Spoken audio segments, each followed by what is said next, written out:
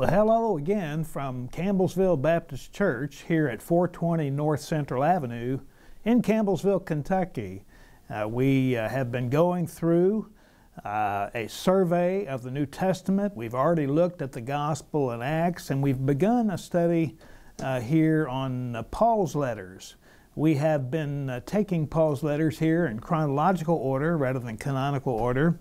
The last time we met, we went over Second Thessalonians. And so today we want to look uh, at uh, 1 Corinthians. First Corinthians would be the, the next letter. And uh, before we do, why don't we go ahead and pray? Father, thank you for your word. Thank you for salvation that comes through Jesus Christ. And now, as we consider your word, we pray that uh, not only will we learn more about you and know you, the God of the Scriptures, but we pray that we might become more like Jesus Christ through what we learn. Lord, we uh, thank you for the privilege that is ours to study the Scriptures.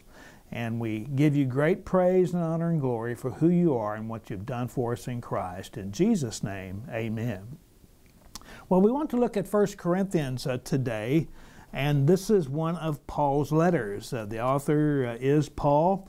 He says that in 1 Corinthians chapter 1 and verse 1. He says, Paul, called as an apostle of Jesus Christ by the will of God, and Sosthenes, our brother. So Paul here, he, um, he claims to be the author of this letter, and he is the author of this letter. And he says he's called as an apostle of Jesus Christ. In other words, he's one of these divinely ordained, directly commissioned authoritative representatives of the Lord Jesus Christ. And he says he's an apostle through the agency of the will of God. In other words, it's God's will that he was to be an apostle. You also note that he has a fellow by the name of Sosthenes with him. Uh, Sosthenes is uh, a, a brother in Christ, and he is a co worker there who is uh, with Paul at the time of the writing of the uh, letter of First Corinthians. A little bit about Corinth before we uh, go on. Corinth is an ancient city. If you go to Corinth today, you can see the ruins uh, of Corinth. Corinth was built on the Isthmus of Corinth. Uh, an isthmus is a very narrow uh, piece of land that connects two larger land masses. Uh, for instance, uh, probably the most well known isthmus today is the Isthmus of uh, Panama, through which the Panama Canal uh, cuts through. But Corinth was built on the Isthmus of Corinth, and it was located on major land and major sea travel routes. So a lot of people would uh, go through Corinth or, or visit Corinth or pass through Corinth um, because it was located on these major land and sea routes. From the very beginning, Corinth was a very prosperous uh, city, and it becomes famous for its luxury.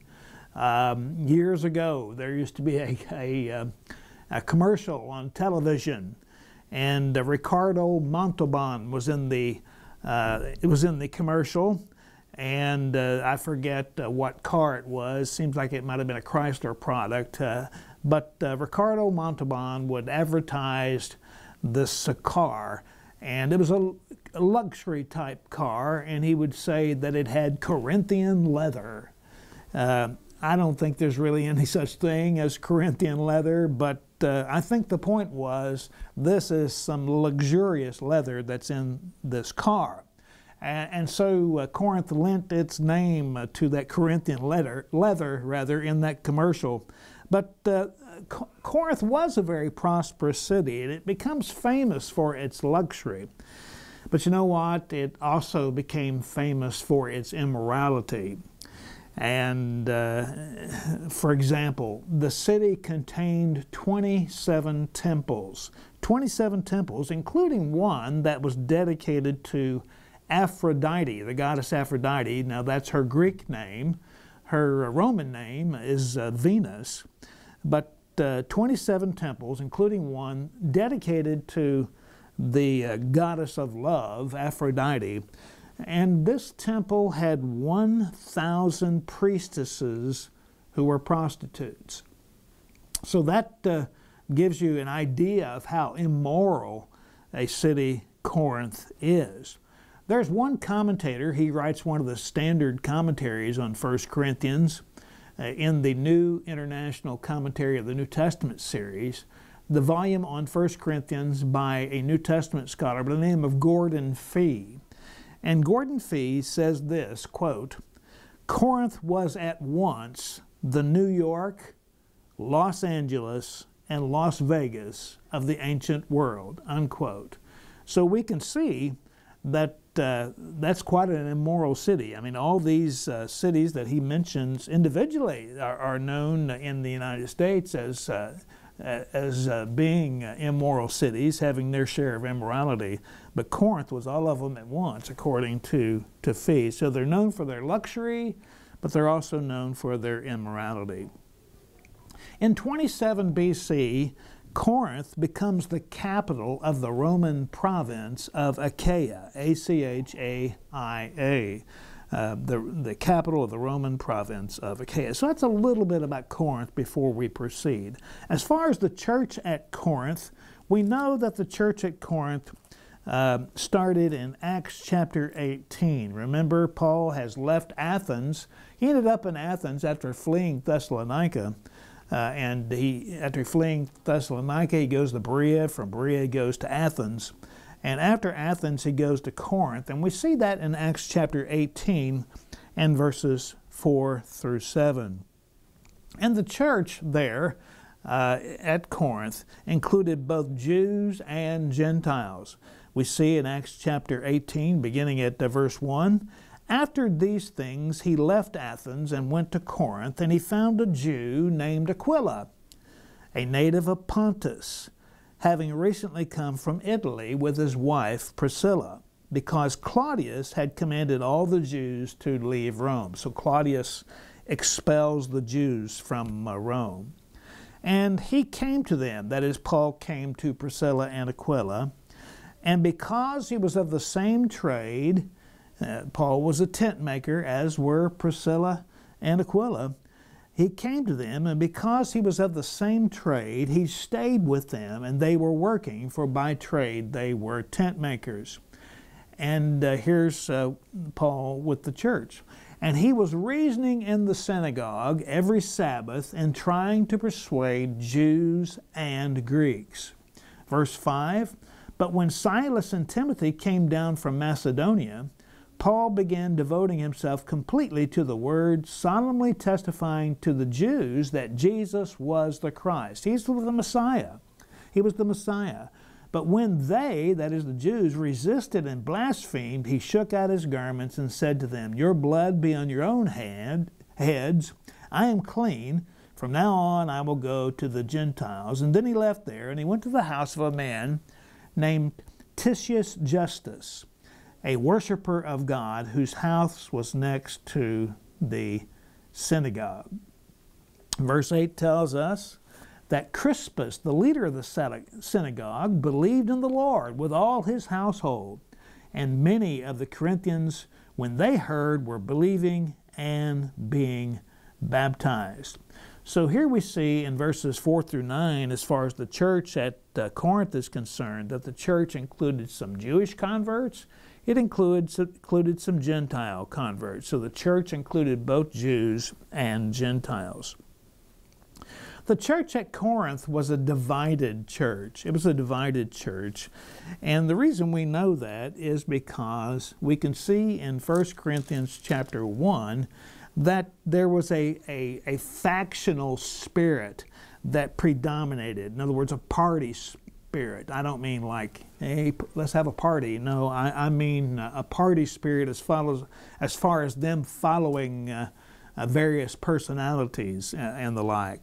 Uh, believers were splitting ranks to follow various personalities, to follow various parties. For instance, we see this in 1 Corinthians chapter 1 and verses 12 through uh, 14. There in uh, um, 1 Corinthians chapter 1, verses 12 to 14. Uh, let's start at verse 11.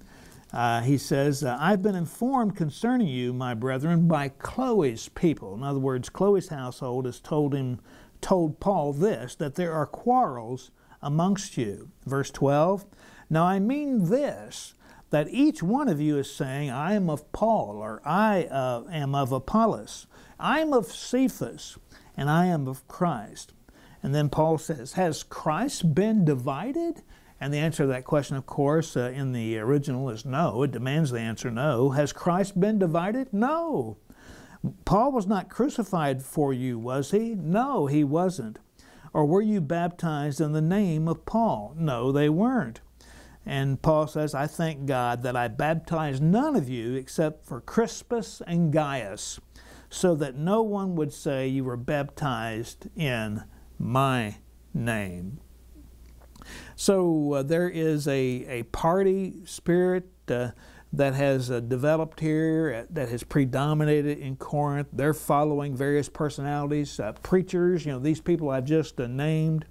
you know, we, we're pretty good at that today. You know, we, we tend to follow and have our favorite preachers and um, you got to be careful there. You don't want to make an idol out of you know, out of a preacher. You want to, uh, of course, worship the Lord Jesus Christ above everybody else, but some do follow preachers so devotedly sometimes you wonder if, uh, if they haven't made them an idol of sorts.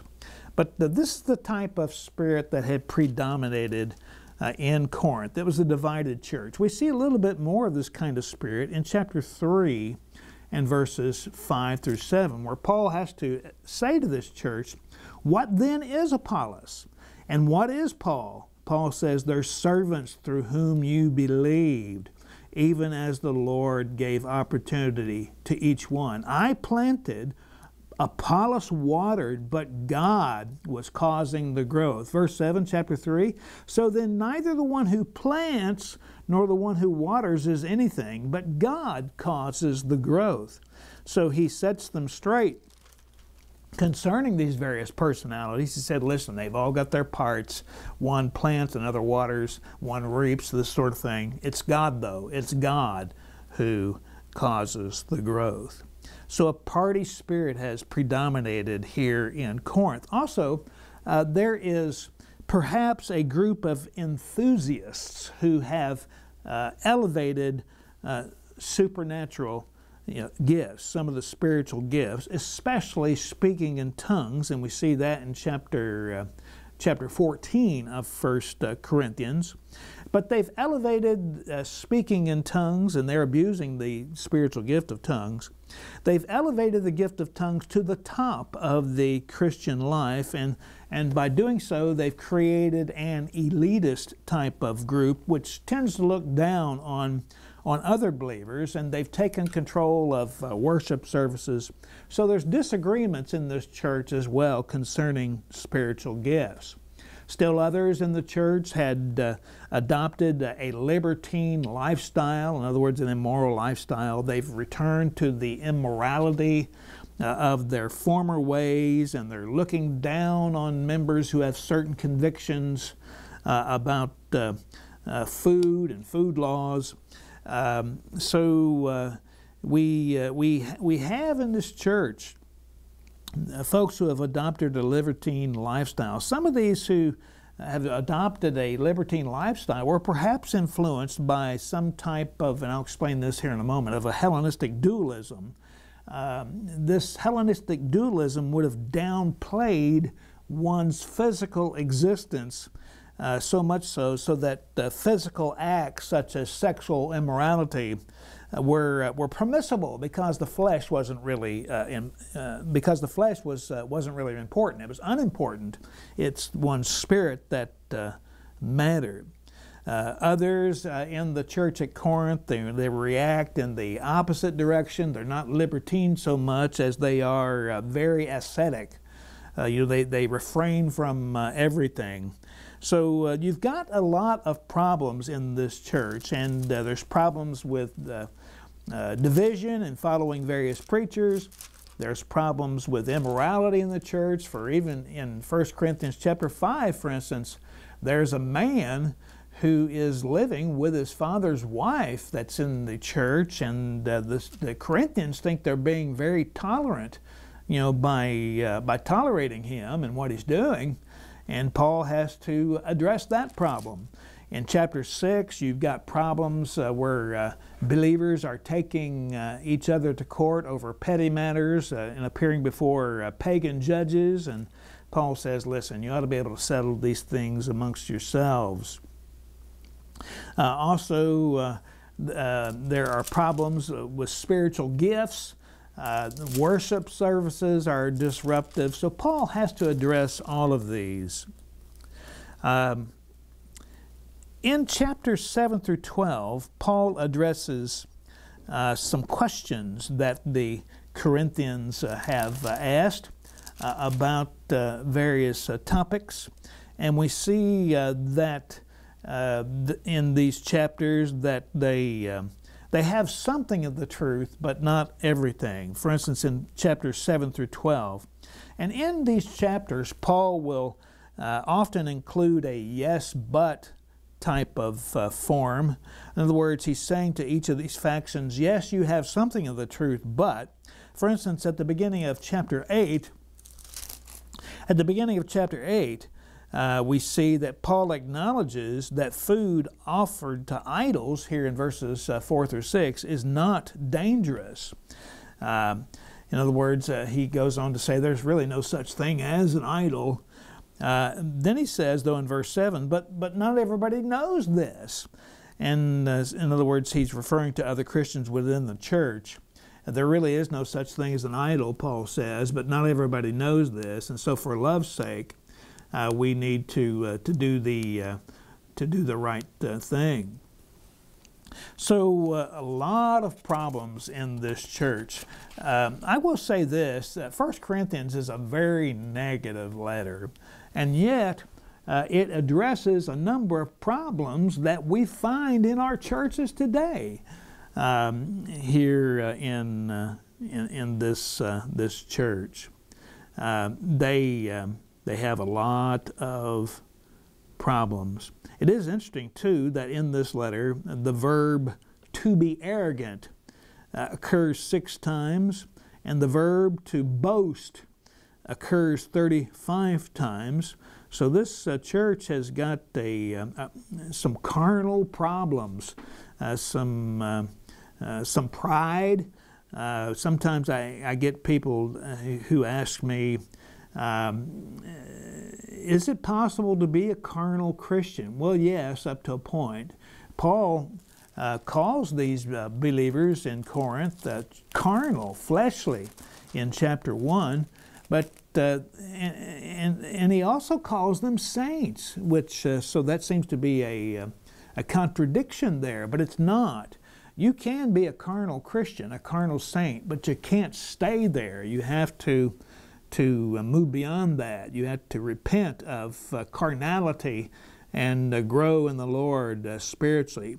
This church has a problem with pride. That's evident from the how many times the word uh, uh, boast occurs 35 times, and they're arrogant. and in chapter 4, in verses 8 through 13, Paul's got some very powerful statements where uh, when he says uh, what he says in chapter 4 in verses 8 through 13, uh, he's been sarcastic here. You are already filled. You've already become rich. You have become kings without us. And indeed, I wish that you had become kings so that we might also reign with you. For I think that God has exhibited us apostles, last of all, as men condemned to death, because we become a spectacle to the world, both to angels and to men. We are fools for Christ's sake, but you, you are prudent in Christ. We are weak, but you are strong. You are distinguished, but we are without honor. To this present hour, we are both hungry and thirsty, and are poorly clothed, are roughly treated, and are homeless, and we toil, working with our own hands. When we're reviled, we bless. When we are persecuted, we endure. When we are slandered, we try to conciliate. We have become as the scum of the earth, the scum of the world, the dregs of all things, even until now. Some powerful statements there on the part of Paul. So, according to Paul's comments, these believers are boasting about their spirituality as if the final reign of God had already begun.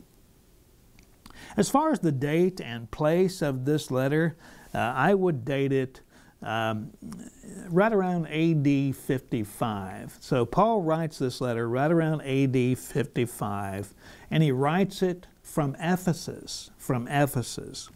So um, it, that's uh, in, important.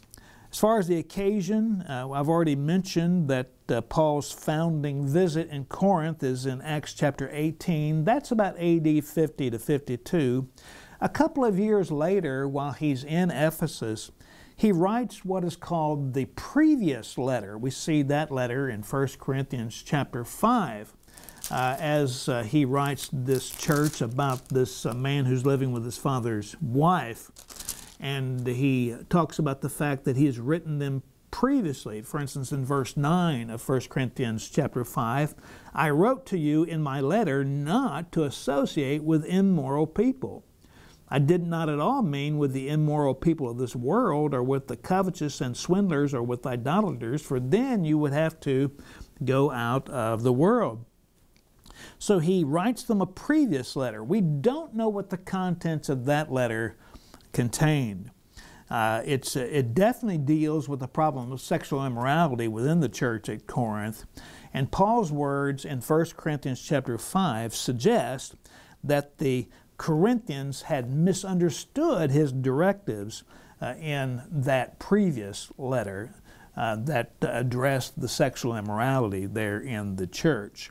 So, uh, this misunderstanding by the Corinthians of that previous letter leads to the writing of 1 Corinthians, Corinthians the, the canonical 1 Corinthians that we all know in, in our uh, Bibles.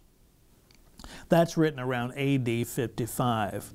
This letter is occasioned by several events. I've already mentioned in chapter 1 in verse 11 that Paul has heard from Chloe's people. Chloe's people, and uh, that's a woman's name.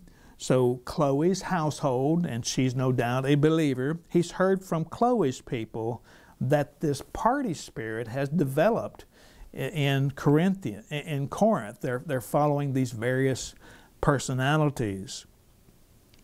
Paul has also apparently received a letter from the Corinthian church, and he begins to respond to that letter in chapter 7. And he will take up the items in their letter one by one, most of them uh, introduced by the words now about. For instance, uh, 1 Corinthians chapter 7 and verse 1. There he says, Now about the things about which you wrote, it is good for a man not to touch a woman. So there he will address some questions, answer some questions they have about marriage. Also down in verse 25, it says, Now about virgins.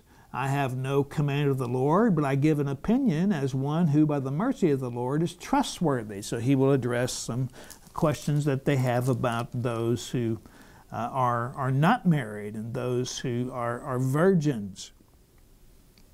Uh, also in chapter 8 and verse 1, we see that he addresses uh, Christian liberty, particularly uh, meat that has been sacrificed to idols. Uh, for instance, he says, Now about things sacrificed to idols, we know that we all have knowledge. Knowledge makes arrogant, but love edifies. So, uh, this is the passage I mentioned earlier that he acknowledges that there's no such thing as an idol, but that nobody, not everybody knows this. And so, that uh, being the case, uh, I should, uh, you know, I should, um, you know, love that person, and I should, you know, if I'm causing my brother or sister in Christ to stumble, uh, I should not do that. In the case of eating meat sacrificed to idols, Paul says basically there's nothing wrong with that because there are no such thing as idols, but not everybody knows this. But if uh, food causes my brother or sister to stumble, I'm never going to eat meat, meat again. Why? So that I'll not cause my brother to stumble. Chapter 12, verse 1, we see that um, uh, uh, they have questions concerning spiritual gifts. Now, concerning spiritual gifts, brethren, I do not want you to be uninformed or unawares. So he will answer questions concerning spiritual gifts. Uh, earlier, I forgot to mention in 1 Corinthians chapter 11, they're having, a, they're having problems as well with uh, their observance of the Lord's Supper. They're not uh, observing it in the right manner. Um, but uh, Paul answers questions in chapter 12 concerning spiritual gifts. In chapter 16 and verse 1, and also in verse 12, he um, will answer questions concerning the collection for the saints. In other words, the, the monetary collection for the poor saints in Jerusalem. Now, concerning the collection for the saints, as I directed the churches of Galatia, so do you also. And then he says, On the first day of every week, each one of you is to put aside and save as he may prosper, so that no collections be made when I come. So, uh, so he's, he's answering all these questions for the Corinthians. Another problem that I didn't point out is 1 Corinthians 15. Uh, they, they have problems concerning the resurrection. And Paul will answer uh, that, uh, their beliefs concerning that. So Paul writes this letter of 1 Corinthians to um, correct the misunderstandings that uh, occurred in that previous letter, and also we saw there's various things that occasion the um, uh, the, the writing of this uh, letter of 1 Corinthians. Paul's received a letter from the Corinthian church. He's heard from Chloe's people. Most likely, 1 Corinthians um, not 1 Corinthians, but the letter that Paul has received from Corinth, the one that he's responding to. This letter from Corinth was written as a response to Paul's previous letter. So, in other words, Paul's written the previous letter to the Corinthians. The Corinthian church writes back, and they have some questions. That letter, responding to the previous letter, uh, was brought to Paul by a delegation from Corinth chapter 16 and verses 15 through 17 mentions three men Stephanas, this is a great trivia question, Stephanas, Fortunatus, and Achaicus. Uh, this Corinthian delegation, they bring the Corinthians' response to the previous letter to Paul um, before he writes 1 Corinthians. This Corinthian delegation of these, uh, these men may have also brought some oral reports about the situation in Corinth. So, what is the purpose? What is the purpose of the Corinthian letter? Well, um, uh, there are some things, uh, some further things that uh, occasion it. Paul critiques the division within the Corinthian church and the errant beliefs which led to the split in their midst. He seeks to address these questions raised by the Corinthian church. He instructs the Corinthians to participate in the offering for the Jerusalem church. Uh, the purpose statement is this, though. Paul writes to chide, to chide the Corinthian church into acknowledging the Lord's ownership of them and the implications of that ownership in the different areas of their lives. The key theme of this letter is this you belong to Christ and not to so and so, not to Paul, not to Cephas, not to Apollos. You belong to Christ and not to so and so. And so he chides the Corinthian church into acknowledging the Lord's ownership of them and uh, the implications of that ownership in the various areas of their lives. We see in 1 Corinthians chapter 6 that indeed we belong to the Lord. Verse 19, do you not know that your body is a temple of the Holy Spirit who is in you, whom you have from God, and that you are not your own? For you have been bought with a price. Therefore, glorify God in your body. So that verse there tells me that uh, I've been bought with a price. Of course, that price is Christ's death on the cross on behalf of our sins. This is language of manumission manumission from slavery. Christ has purchased us with a price Himself. He's bought us out of the bondage of slavery and the bondage of sin and slavery to sin. And because of that, He owns us. He owns us. And we've been bought with a price, and because of that, we should glorify God in our bodies, in our whole being, glorifying God in everything that we do. Well, that's First Corinthians. Uh, it's a, like I say, a very negative book, but it's one that uh, is well worth your while. I mean, there are all sorts of things that we could study uh, in this uh, letter, uh, but uh, that's that's an overview for for you in in you know in in half an hour's time. Uh, and uh, our next uh, session will be on 2 Corinthians. I hope that you will join us. Until next time, you take care and God bless. Bye now.